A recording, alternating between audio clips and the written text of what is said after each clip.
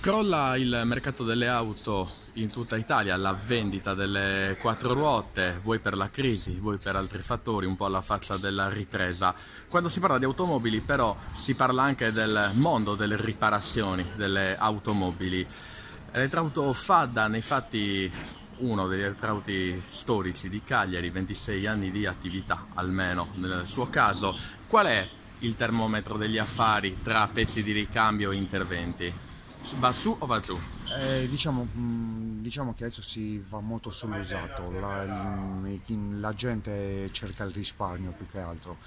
Se andiamo sul nuovo chiaramente devono pagare IVA ed è giusto che sia così, però per molti il, rispar- per, per molti il risparmio è, è, poi in questi mesi, settembre-ottobre, le aperte le scuole, mh, è, è difficilissimo andare avanti quando qualcuno le porta un'automobile le chiede un preventivo magari per la riparazione, subito, quali sono subito. i danni più frequenti? rotture di, di, pezzi, su impianti elettrici non posso fare preventivo perché non, non so eh, cioè non so quantificare il danno se non, se non, apro l'impianto e vado avanti se poi devo fare una riparazione su, sulla meccanica chiamo il deposito mi faccio dire il costo del pezzo eh, la manodopera mm, cerca un po' di ammortizzare di comunque i costi. Certo, ecco, certo. lei apre, fa i controlli di rito e poi dice guardi, c'è da spendere tot per questa riparazione. Sì. Le capita, ah no, è troppo come risposta, ripasserò. Sì, sì.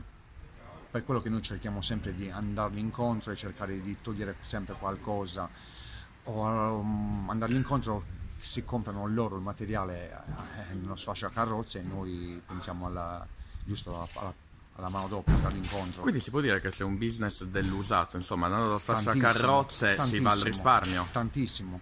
Mi, mi, molti clienti mi portano il materiale loro. Vanno direttamente loro? A volte lavoriamo anche due volte perché il materiale che ci portano è difettoso. Fermo.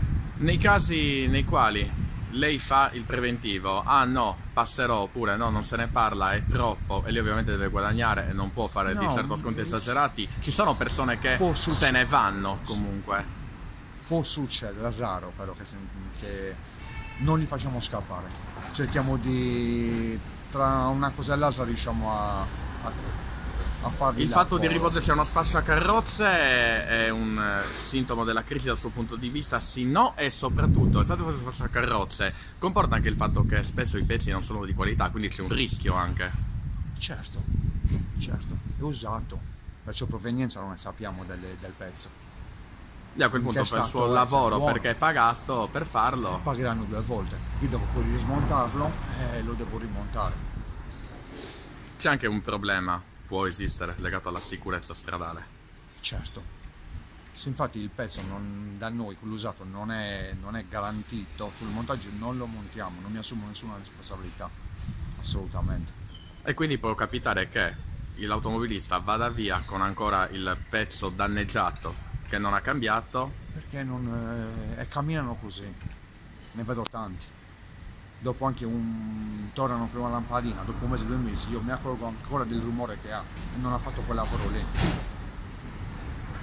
In un'ultimissima battuta, eh, nell'ultimo anno eh, calo degli affari sì o no?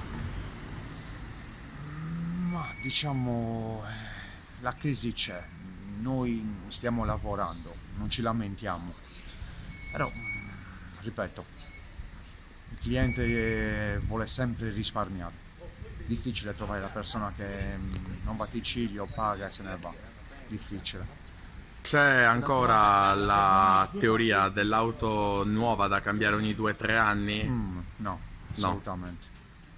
Vanno i modelli come... vecchi anche di quanto? Sì, sì, eh, dipende, 10 anni, 12 anni. Ci chiedono a noi quale macchina potrebbe, ma basta, basta vedere anche le punto del 2005-2007, vanno quelle, messe bene vanno.